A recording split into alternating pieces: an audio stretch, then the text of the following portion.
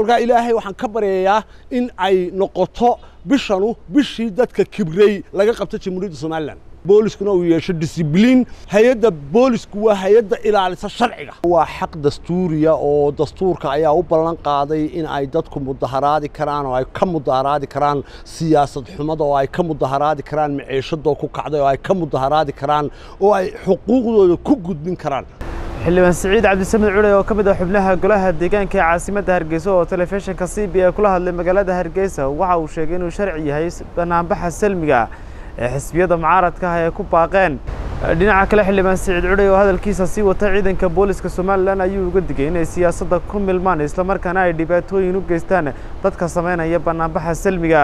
Taa waxan ay xisbiyada mucaaridka doonayaan iyo mujtamacuba waa xaq dastuuriya oo dastuurka ayaa u ballan qaaday in ay dadku mudaharaadi karaan oo ay ka mudaharaadi karaan siyaasad xumada oo ay ka mudaharaadi karaan maciishadoo ku kacday oo ay ka mudaharaadi karaan oo ay xuquuqdooda ku gudbin karaan marka arrintan waa arrin ay xukuumadda u wanaagsan tahay inay u oggolaadaan mujtamacu inay exercise gareeyaan wixii dastuurku uu ballan qaaday kolkaa arrintanu ma aha arrin dhib badanba.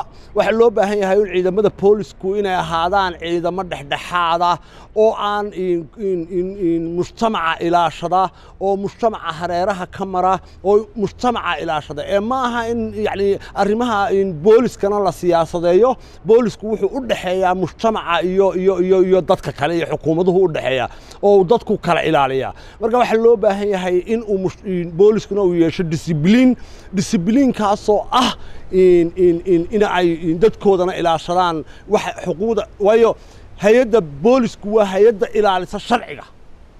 Sharciga ayaana qofkan u ballan qaaday inuu waxan samayn karo. Kol haddaanu wax yani ka sarreeya sharciga ama muddici ku ah sharciga aanu samaynahayn waxaa muhiima in arrintoodaas ay u fusho oo loo ogolaado qodobka kalean kuu sheegayaa maanta waxa weeyaan bisha lagu jiraa waad garanaysaa waa cashuuraa maanta lagu jiraa. Cashuurina waxa ay tahay waynu garananaa cashuuri waa maalin ku leh saamayn dunida. Waxaa ku jirtay maalintaa saamaynta dunida ku leh oo ahayd maalintii qofka kibra ee mujtamaca ku kibra laga qabto. Kolkaa ilaahay waxaan ka baryayaa in ay noqoto bishanu bishii dadka kibrey laga qabto jamhuuriyadda somalilan. Wasiirka arrimaha gudaha taliyaha ciidanka booliska oo hadlay waxay sheegeen inaanu sharci ahayn mudaharaadka xisbiyada mucaaradku ay ku baaqayaan. Isla markaana ay tallaabo sharciga ka qaadayaan.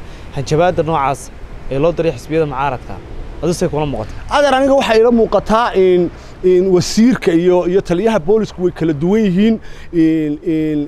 Waxa muhiimahuun in ayagu bulshada u soo u soo bandhigaan waay. Sababta waa inay u caddeeyaan aanay mujtamacu u mudaharaadi karin khalkhalgelin bay ku koobeeyeen ammaanka anigu ilaa imanka ma arko wax khalkhaloo jira. Dhammaan mujtamaca somalilan oo dhan in ay diidaan wixii xun maba ahaba ama mucaarid ama muxaafid ama caynkaa mujtamaca reer somalilan waxa ay ku soo gaadheen halkan inay waxa xun diidaan. Horena waanu diidnay iminkana waanu diidana waxa wanaagsanna waanu raacayna. Ibrahim jokar c b a t v hargeysa